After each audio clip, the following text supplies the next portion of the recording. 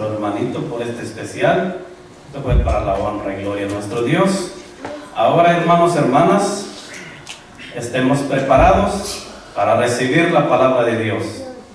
Amén. Vamos a tener reverencia en nuestra, en nuestra iglesia para poder escuchar la voz de nuestro Señor a través de nuestro hermano Adán. Es el tiempo. Amén.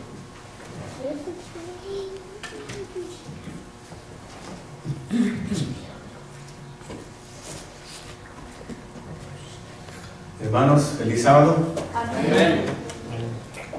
Eh, vamos a orar para tener nuestro estudio. Oremos. Padre Santo que estás en los cielos, santificado sea tu nombre. Padre, nuevamente pedimos tu dirección, nuevamente pedimos tu Espíritu Santo. Úsanos, Padre, y háblanos en esta mañana. Eh, nos rendimos delante de ti porque no tenemos conocimiento, pero el que habla y hace las cosas eres tú. Gracias, Padre, en el nombre de Cristo Jesús. Amén. Amén. Bueno, hermanos, eh, estoy nuevamente contento y feliz porque vamos a estudiar la palabra de Dios en esta mañana. Amén. Todos nosotros estamos aquí. eh, el miércoles pasado les estaba preguntando a los hermanos si tenían, si a alguno de ellos tenía, eh, tuvo alguna dificultad de salud en la semana y casi todos eh, tenían como pequeños problemas, ¿verdad? El gripe y alguna enfermedad ahí. Yo creo, hermanos, que estamos en nuestra época, nos tocó vivir un tiempo, estamos viviendo más bien un tiempo muy duro, eh, muchas enfermedades, eh, la rebelión del hombre está muy, muy encima de las cosas, Eh, ya no hay distinción entre lo bueno y lo malo. Y el hombre necesita ser salvo de todas las cosas malas.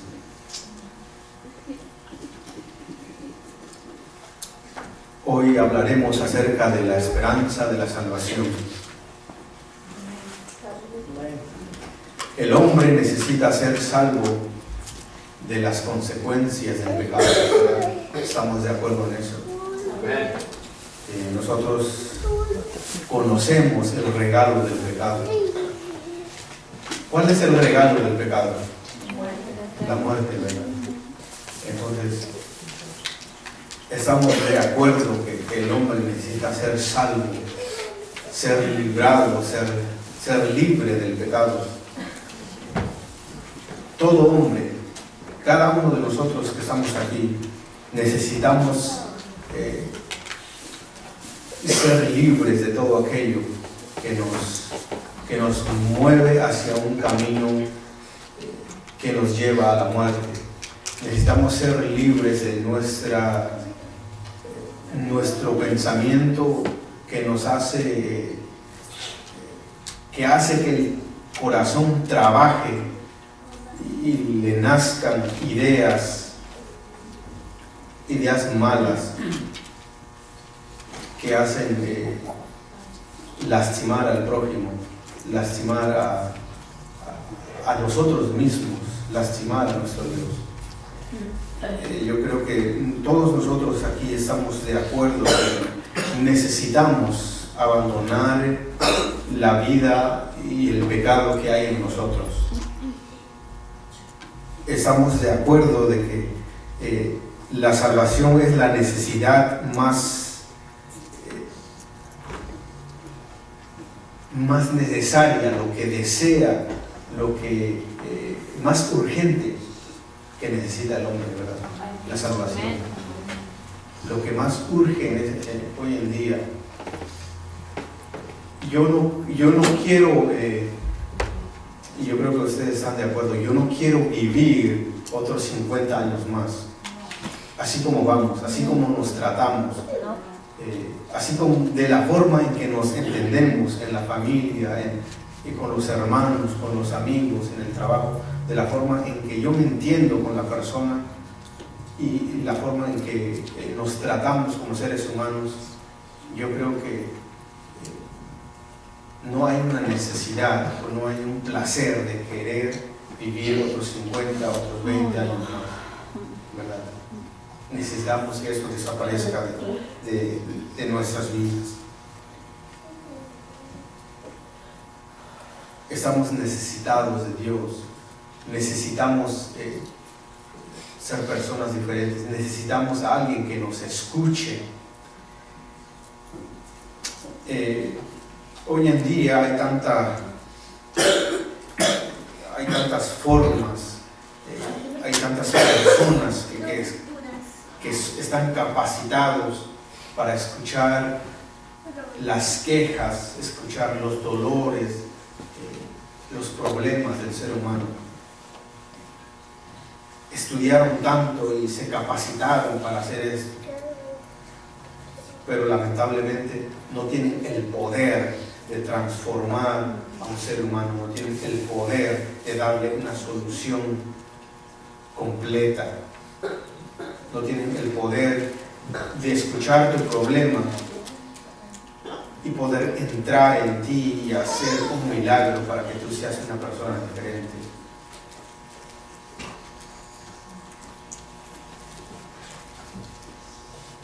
Y la mayoría conoce de un Dios y cree eh, que hay un Dios que puede hacerlo, pero a veces no tiene eh, esa insistencia de querer buscar a ese Dios. No tiene eh, el deseo de ir en pos de ese Dios. Porque todo lo que le rodea parece que le cierra el camino de ir en pos de ese Dios. ¿Cuál es la cuál es el estado del hombre hoy en día? ¿Cuál es nuestro estado hoy en día? ¿Cómo, nos- cómo se encuentra el hombre hoy en día? Busquemos allí en el libro de, Romanos capítulo 3, versículo 23, dice la palabra de Dios, por cuanto todos pecaron y están destituidos de la gloria de Dios. Todos nosotros estamos apartados de la gloria de Dios, porque el pecado hace una barrera entre el ser humano y Dios, que ya es imposible que los dos estén conectados. El pecado es, es una tijera que cortó la relación que nos unía con Dios y estamos tan lejos de nuestro Dios. Estamos tan, estamos tan cerca del dinero, estamos tan cerca del trabajo, estamos tan cerca de, de- las vanidades de esta vida,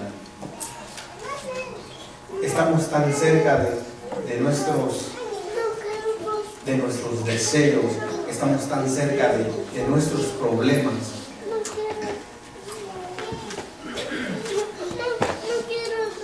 Estamos tan cerca de todo ello, pero estamos tan lejos de Dios, ¿verdad? Nuestro pecado nos ha llevado a un lugar muy lejos. Dice ahí, por cuanto todos pecaron y están destituidos de la gloria de Dios. Todos nosotros llevamos pecado, tenemos pecado. El ser humano tiene pecado y está destituido, está lejos de la gloria de la presencia de Dios, de los caminos de Dios. En Isaías, perdón, en Salmos capítulo 51, versículo 1, dice así, Salmos, versículo 51, perdón, capítulo 51, versículo 5. Dice así, he aquí en maldad he sido formado y en pecado me concibió mi madre. desde niños nosotros nacemos en el pecado. Una vez que, nuestros primeros padres se separaron, nosotros eh, nacemos en el pecado, nuestros niños nacen en el pecado. Nuestro corazón está lleno de pecado. Eh, Nuestra forma de pensar siempre está establecido en el pecado. Nuestra forma de resolver nuestros, eh, nuestros problemas está envuelto en pecado. Todo es pecado en la vida del ser humano. Esa es nuestra condición actual, el pecado. El pecado reina en nuestro mundo. Pueden buscar ustedes ahí en el libro de, de Efesios capítulo 4 versículo 8.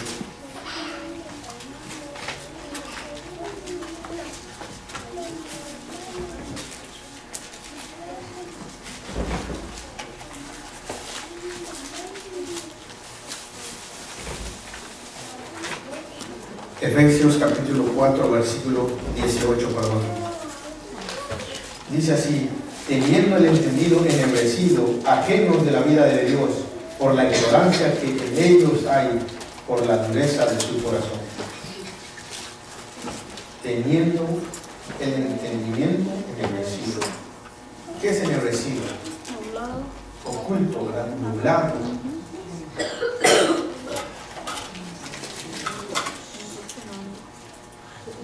en, en nuestro entendimiento está tan nublado, está tan oscuro, que no podemos hacer una distinción entre lo bueno y lo malo. Y damos pasos eh, en, en la oscuridad y no sabemos a dónde vamos, ¿verdad? Pensamos que vamos en un lugar correcto, en un camino correcto.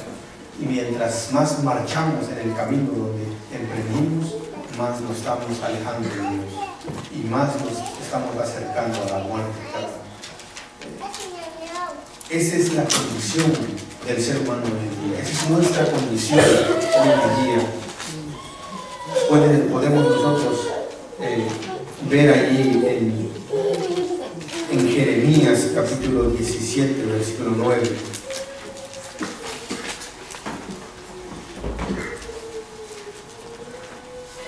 Jeremías 17, 9. Dice así la palabra de Dios. Engañoso es el corazón más que todas las cosas y perverso. ¿Quién lo conocerá? El corazón del ser humano, no te digo de, nosotros que estamos aquí, sino el corazón universal, el corazón del humano, es engañoso, es perverso, es mentiroso. Te hace sentir una cosa y al rato te hace sentir otra cosa. Te engaña, es perverso, es mentiroso.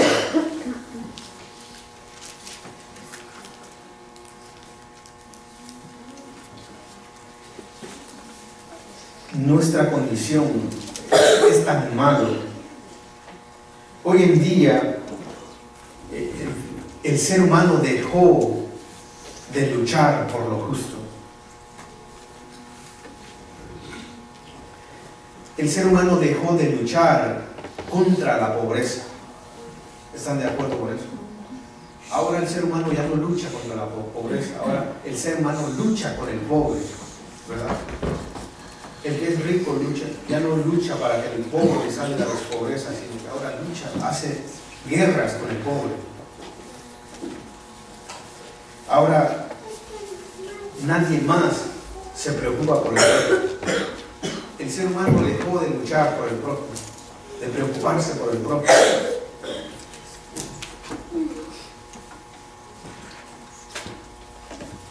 Dejamos de cumplir nuestros propósitos. Y vivimos en un tiempo donde nosotros hacemos solamente promesas, promesas y tras promesas.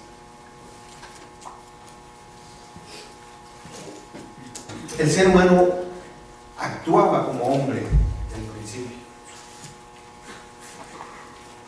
Y en nuestro siglo el, ser humano actúa como animal. Como animal salvaje. Ya no piensa en, en otro más que en él mismo.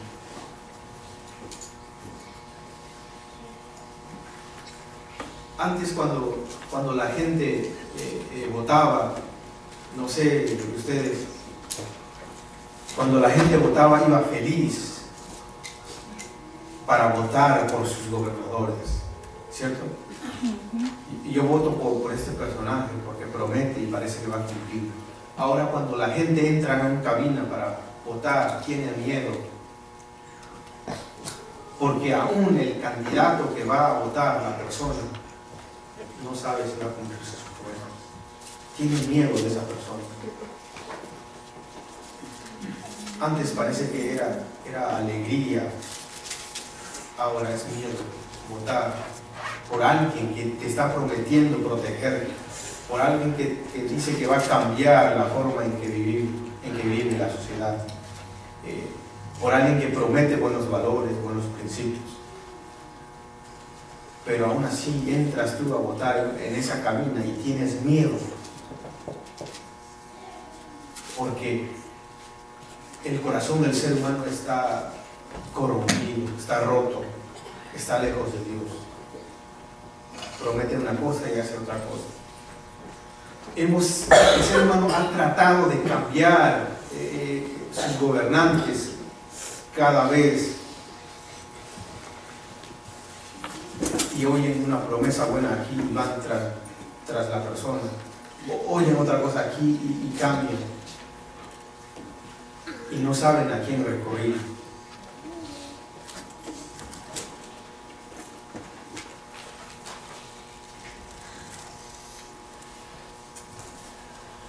Y Jeremías ahí, capítulo 17, versículo 9, dice, engañoso es el corazón más que todas las cosas, perverso. ¿Quién lo conocerá? Nuestro corazón, el corazón del ser humano, es engañoso, y lo he dicho. Mi corazón no, no coincide con lo que dice la palabra de Dios.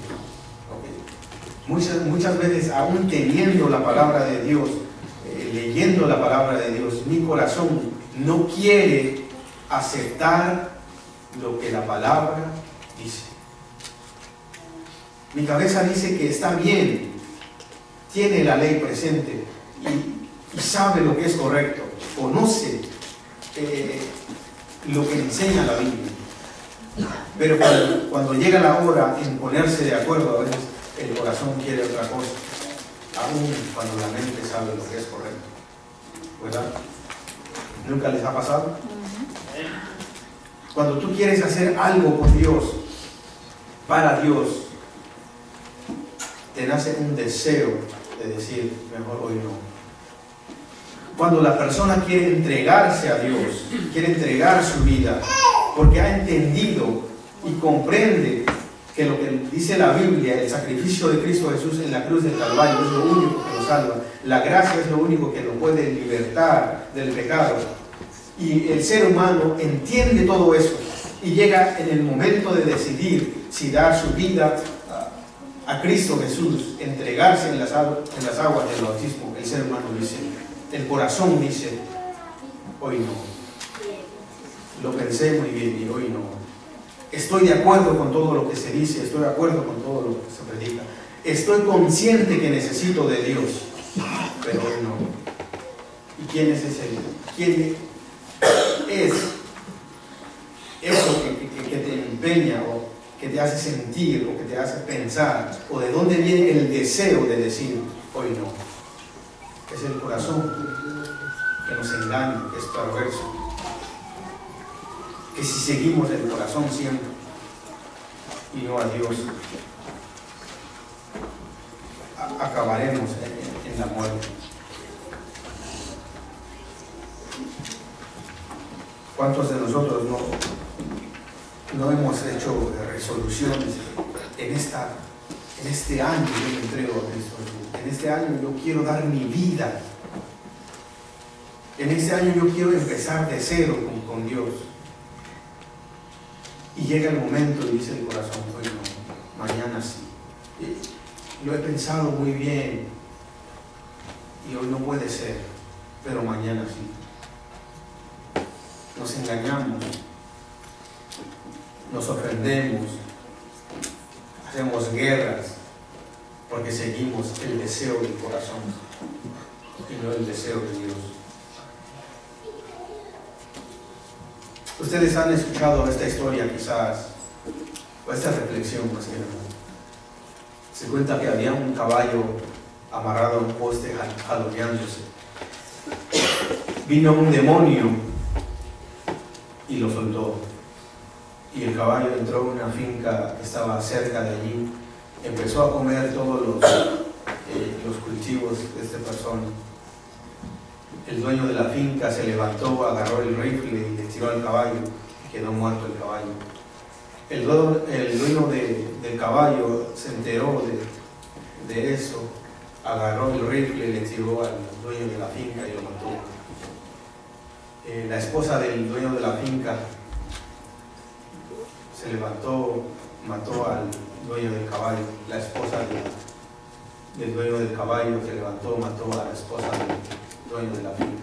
Y así hasta los hijos. Y se, armó una tremenda guerra. Al último los vecinos agarraron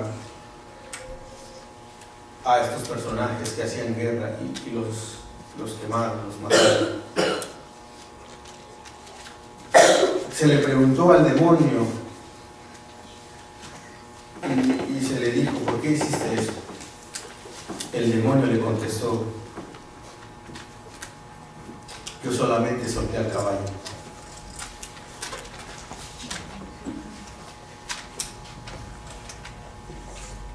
Y la moraleja que, nos enseña esta reflexión es que el diablo hace cosas simples porque sabe que la maldad está en nuestros corazones y solitos hacemos el resto.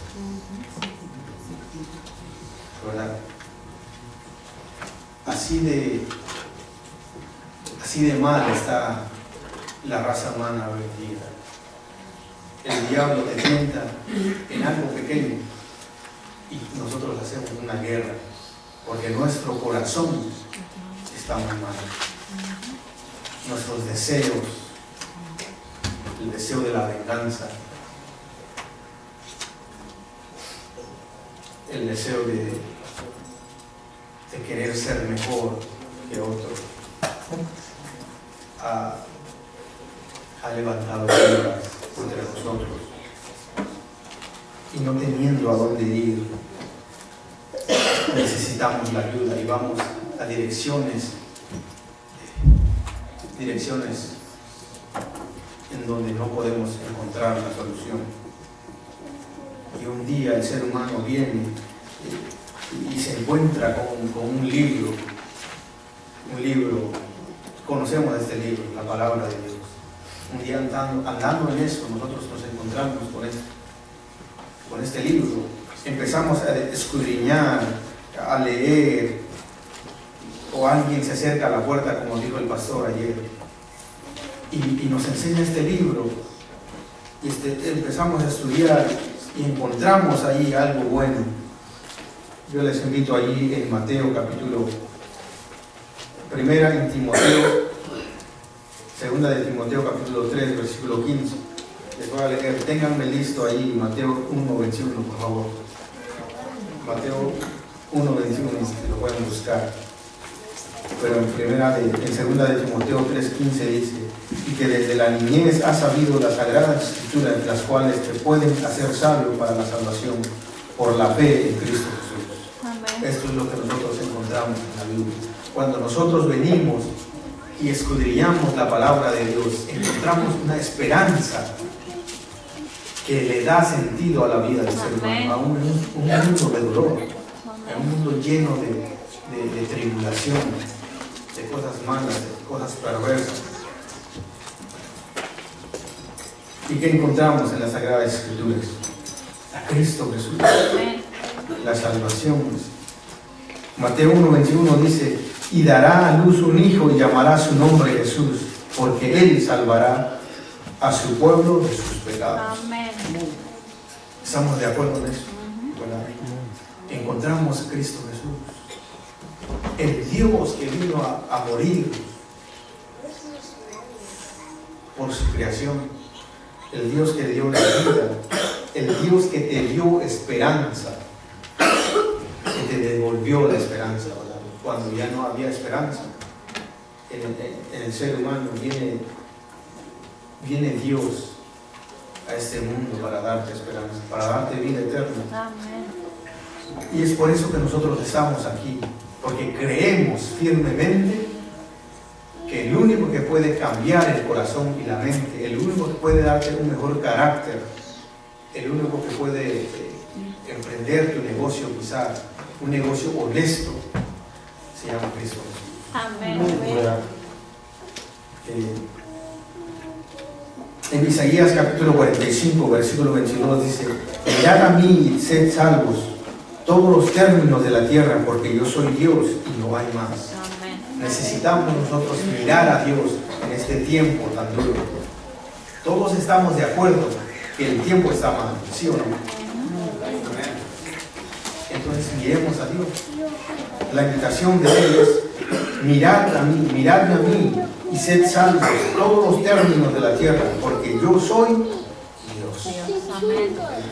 El único que nos puede salvar es Dios por medio de Cristo Jesús. Por la muerte de Jesús. En, en Hechos capítulo 4, versículo 10 al 12 dice. Sea notorio a todos que en el nombre de Cristo de Nazaret, al que vosotros crucificasteis y Dios le resucitó de los muertos, por él este hombre está en vuestra presencia sano. O sea que por Cristo Jesús, si tú tienes una enfermedad, Dios te puede sanar. Amén. Dios tiene poder de sanarte, Dios tiene poder de no solamente salvarte del pecado, sino que restaurar tu salud. Si tú lo escuchas, eso sí, ¿verdad? Ahora el versículo 12 dice, en ningún otro hay salud o en ningún otro hay salvación, porque no hay otro hombre debajo del cielo dado a los hombres en que podamos nosotros ser Salvo. salvos. Amén. No hay otro hombre. El único que nos puede sanar, el único que nos puede salvar, se llama Cristo Jesús. Y no hay nadie más. Es por eso que nosotros necesitamos ir en voz de Él. Necesitamos mirarlo. Necesitamos aceptarlo. ¿Cuánto es tu necesidad por Dios? ¿Qué tanto es tu necesidad? Búsquenme ahí en Job. ¿Cómo, cómo se presenta Job? ¿Cómo se siente Job? Si usted se ha sentido así alguna vez. Job 23.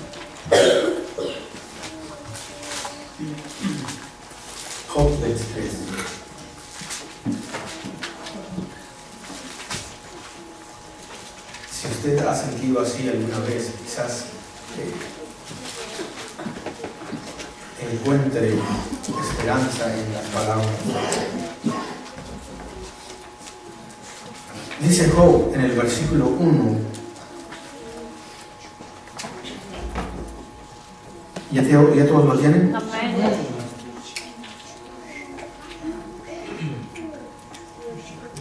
El versículo 1 dice así, respondió Job y dijo, hoy también hablaré con amargura porque es grave mi llaga que mi gemido.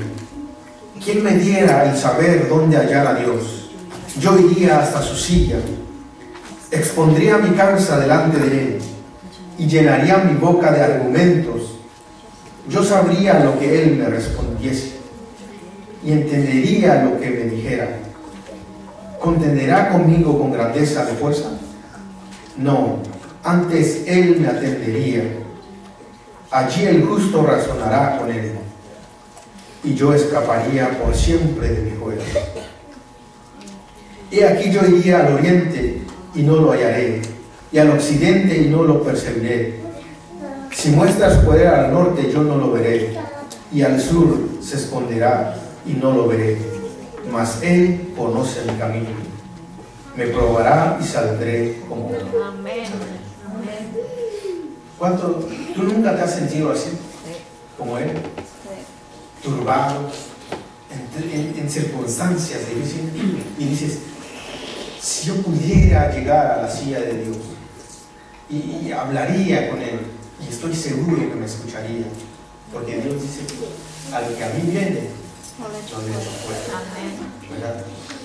Y si iría aquí y me dijeran aquí está Dios o aquí o allá, quizás no lo encontraría, dice Job.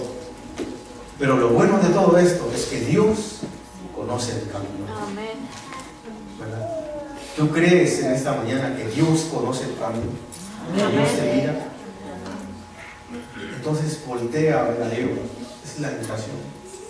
Amén. No necesitas andar de aquí para allá para buscarlo, sino que Dios mismo te está viendo. Es cuestión de que nosotros nos voltemos y lo miremos. Porque Dios está sobre nosotros. Amén.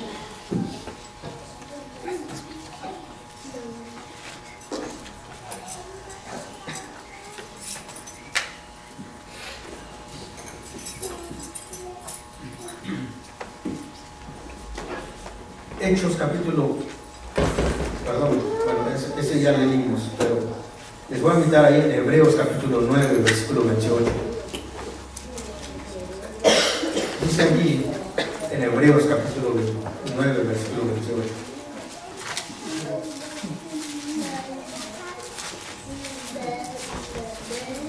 Dice así. Así también Cristo fue ofrecido una sola vez para llevar los pecados de muchos y aparecerá por segunda vez sin relación con el pecado para salvar a los que le esperan. Amén. Esa es la gran, la gran promesa de Dios.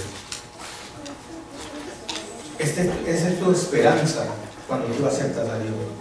Que Dios volverá por segunda vez para cumplir su promesa a aquellos que le esperan. Tú esperas a Dios, tú esperas a Cristo Jesús. Tú escudriñaste la palabra y encontraste a Jesús y lo aceptaste y lo esperas ahora. Porque si esa es tu esperanza y ese es tu, tu mundo, se puede decir, tu mundo completo, Dios, Dios va a cumplir su promesa contigo. Amén. Hebreos capítulo 5, versículo 9 dice así, habiendo sido perfeccionado, vino a ser autor de la eterna salvación para todos los que lo obedecen. ¿Quién es el autor de la salvación? ¿Quién es el que creó la salvación? Jesús. ¿Y para quién lo creó? No para las plantas, no para los animales. Creó la salvación porque sabía que el que estaba perdido era tú. Sabía que el que estaba perdido era yo. Y creó la salvación para que tú fueses salvo. Dice aquí, mediante la fe en Cristo podemos alcanzar la salvación, por lo cual puede también salvar eternamente a los que por Él se hallan a Dios, viviendo siempre para interceder por ellos. Hebreos 7:25 también podemos encontrar en la casa pueden buscarlo.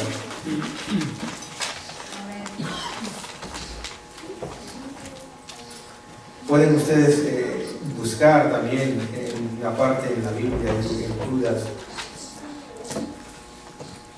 24, ahí eh, pueden encontrar versículos en que dice cuando nosotros nos entregamos a Dios, Él evita que nosotros caigamos. Él nos da el poder de mantenernos en el camino de Él y esperar, tener esa promesa en el corazón y esperar hasta en el tiempo de su venida. Amén. de su segundo regreso. Él te da el poder. No es que de ti salga el poder, sino que Él te da de su poder con la ayuda del Espíritu Santo para que salgas victorioso.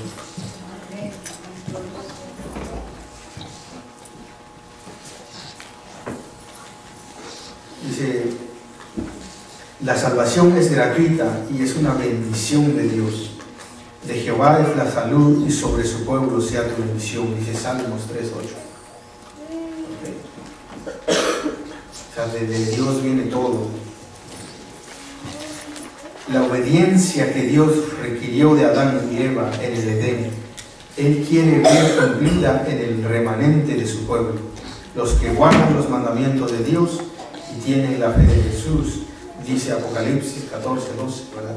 Y aquí la paciencia de los santos. Lo que requirió Dios desde el principio de nuestros primeros padres en Adán y Eva es lo mismo que pide de nosotros hoy en día. Que guardemos, que tengamos la fe de Jesús y que tengamos los mandamientos presentes. Amén. Que no perdamos la esperanza que, nos has- se nos ha enseñado, que no perdamos el conocimiento que existe en Dios, que no perdamos el conocimiento de la salvación aún en nuestro mundo.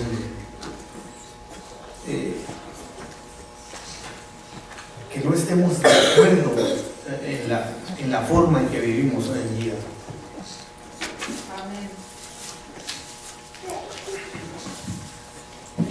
Búsqueme allí Romanos 12.2 y alguien que me, que me lea en voz alta, por favor. Romanos 12.2.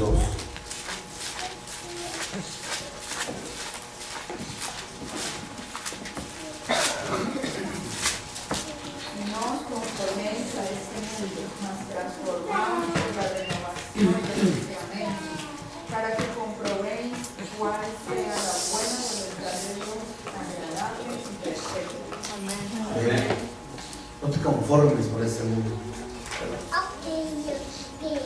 Eh, eh, con lo que les he dicho, yo creo que estamos de acuerdo que, que las cosas que, que ofrece el mundo, en nuestro corazón, en nuestro carácter, eh, y las vanidades que existen hoy en día, no son nada buenas. ¿Y por qué conformarnos con nuestra vida? ¿Por qué conformarnos con este mundo?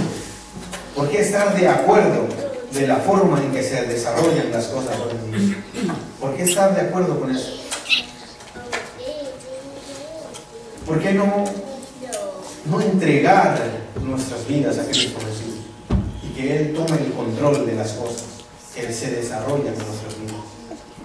Yo creo que esa es la única opción del ser humano si quiere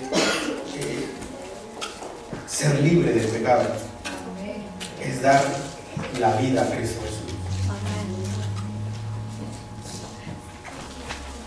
Hace unos tiempos, unos días atrás, creo que hablé del bautismo, hablamos, repasamos del bautismo y la mayoría de ustedes lo saben aquí. Y hablamos acerca del bautismo. Como es la única solución para que tú puedas ser salvo, para que tú puedas ser libre de tus pecados. ¿Cómo, eh, cómo es que también el ser humano hoy en día quiebra el compromiso que hace con Dios? Es el bautismo, el pacto, el pacto santo que hacemos, que es el, es el bautismo. No te conformes con la vida que llevas ahora. Y quiero hacer la invitación nuevamente. Si tú quebraste el pacto, si tú que estás aquí, que somos hermanos, y quebraste el pacto divino que es el bautismo que tuviste con Cristo Jesús, si tú quebraste y te olvidaste de esto, es momento de renovar el pacto. Porque cuando venga Dios por segunda vez, buscará a aquellos que, que retienen el pacto santo y a ellos los llevará. Yo, yo les leí una parte allí eh, donde, donde,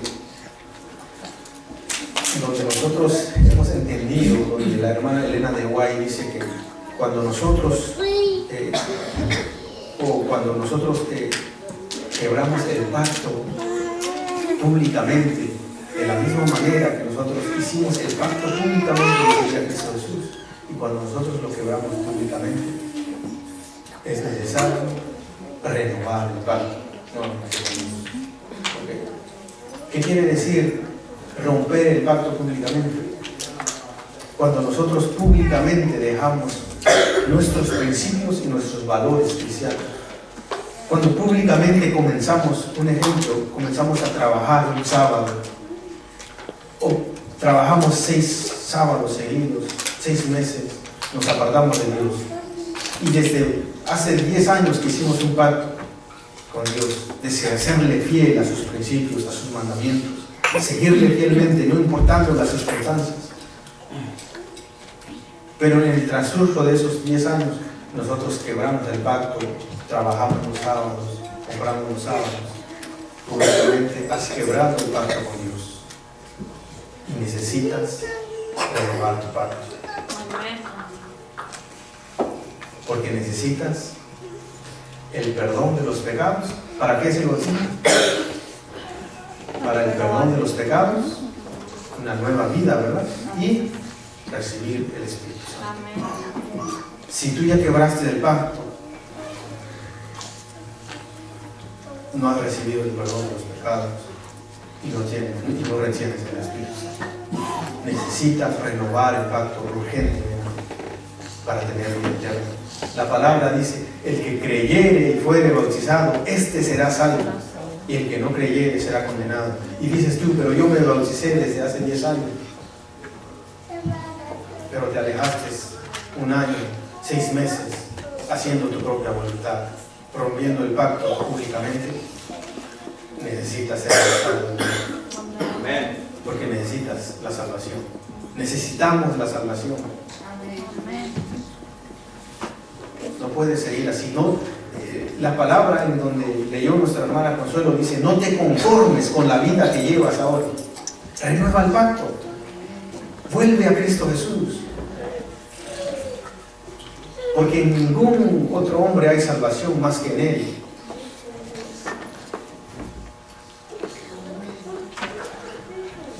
Recuerda que Dios conoce tu camino. Recuerda que Dios te mira, Dios te conoce. No escuches el corazón. Si conscientemente sabes que te has alejado de Dios y la, conciencia dice, yo me alejé de ti, y el corazón dice, pero está bien, eh, no te preocupes, no escuches al corazón.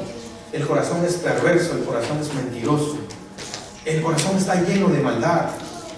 Si el corazón te dice, no me importa que no te bautices de nuevo, no me importa, eh, sigue así, estás bien. La palabra de Dios dice, no te conformes a este sitio, no te conformes con este mundo, no te conformes en sí con la vida que llevas. Mejor cree en lo que dice la palabra de Dios. Renueva tus principios, renueva tus valores Comienza una nueva vida. Es mejor comenzar una nueva vida que tener una vida de dudas. ¿Entienden eso?